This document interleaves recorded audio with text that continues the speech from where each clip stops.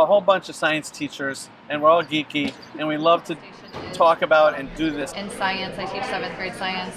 I have to teach about porosity and permeability. So one thing that impresses me, first of all, is that there's such a great um, conglomeration of teachers from all over the state that are interested in this.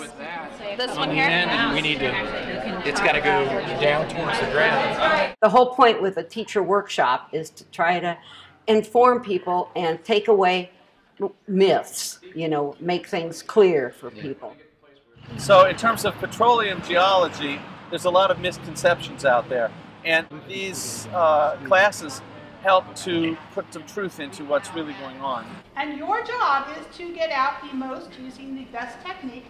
I probably am going to get like all cake on this drill. Tell them our story and the science, because there's a lot of wonderful science that's applicable to many areas of the curriculum.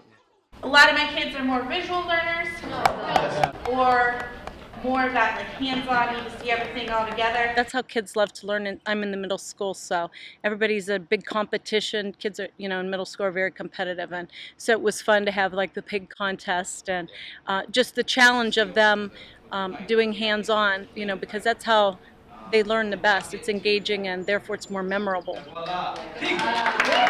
Oh, they're very grateful. It's not, it's like nothing they've ever had before.